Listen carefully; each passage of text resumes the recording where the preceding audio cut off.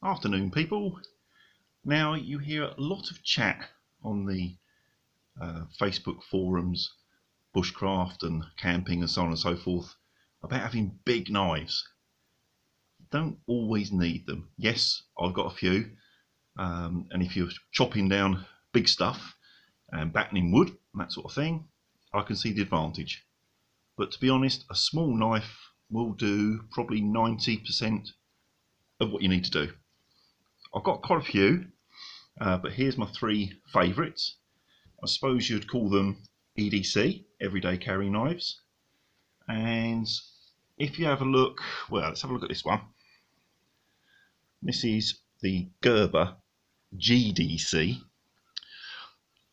Tiny little knife, completely covered in like a rubberized finish, which is great because you can have it in your pocket with your phone no danger of scratching your screen or anything like that. It's, you know, really good. Really good. Not heavy. It's uh, it's not technically an EDC. You, you will get in trouble if you got caught with it because it's a locker. It's got really, really strong lock. It's nice for doing, you know, fine little work.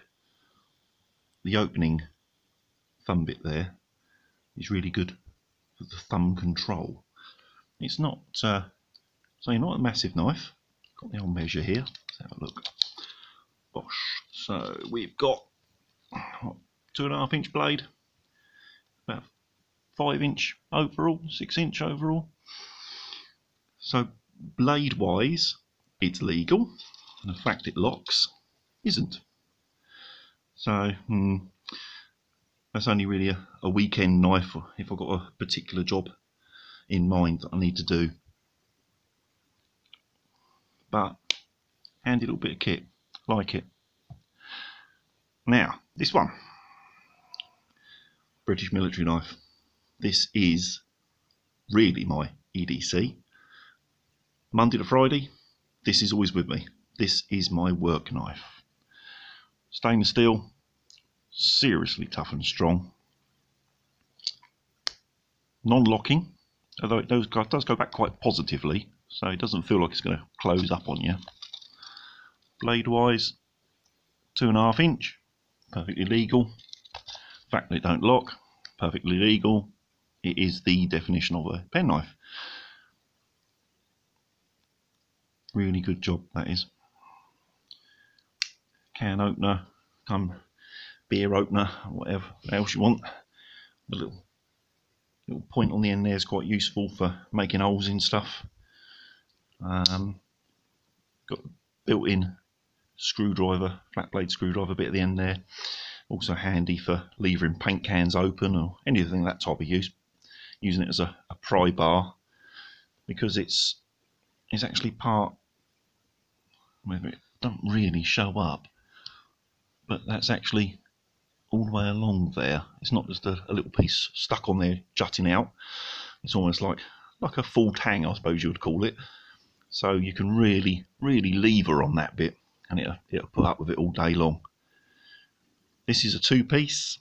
Uh, they do make a three-piece version, which has a, a marlin spike here. Uh, I don't like them.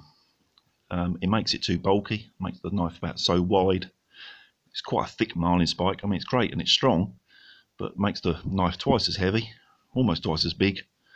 And to be honest, most of the jobs you can do with that bit anyway. So I don't really see the point of the marlin spike unless you're doing a lot of rope work. Um, but I say you can get away with the bottle opener for that sort of stuff anyway.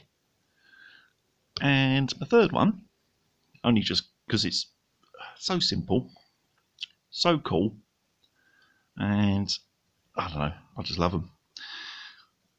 Opinel, this is the number eight, so it's sort of medium sized one. Um, they do numbers 1 to 13, I think, 13 being the biggest. Um, this is a bit of a bit of a strange one. It's got this locking ring here. So it doesn't open, you know, like this would. It's not a traditional lock. Um, but I mean, it also locks in the closed position too, which is quite clever. You twist it, Open it. Lock it again. Whether that is classed as a lock knife, hmm, grey area.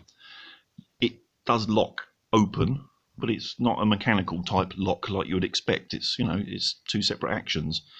You'll probably still get in trouble for carrying it.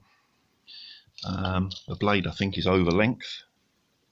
Yeah, it's a fraction over three inch, and three inch is the is the sort of legal limit.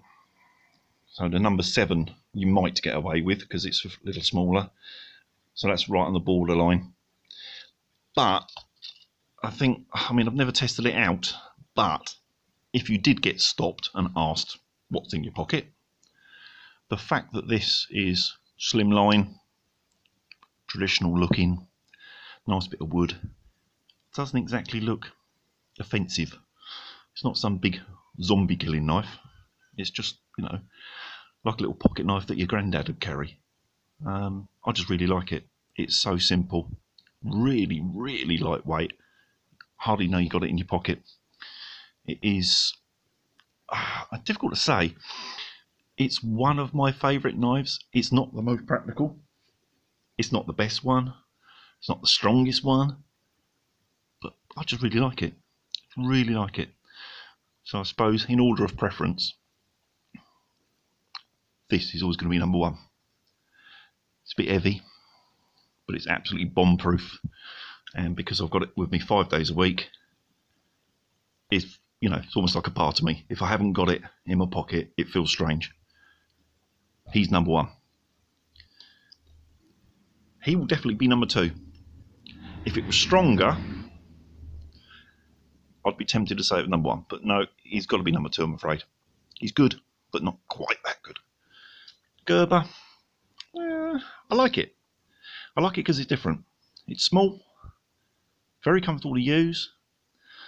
I love the fact it's covered in rubber, so you know it doesn't damage anything. Or if it's in pocket with chain uh, change or you know keys or something like that, it's not jangling about. You know because it's it's quiet. Um, it's a good knife. It's good for very small little close up know, carving, I suppose. If you want to do something like that with it, I can imagine it being quite good small, easy to control. The fact that it locks, you're not going to take your fingers off. Um, not a massive blade. Got the thumb bit there, so you can get, you know, quite precise with it. Uh, I haven't really found a use for it. I just bought it because I thought it was cool. So he'd have to be number three. Um, so I've got plenty more, but I suppose these will be the favourites, definitely number one, number two, number three. Well, that's my three favourites.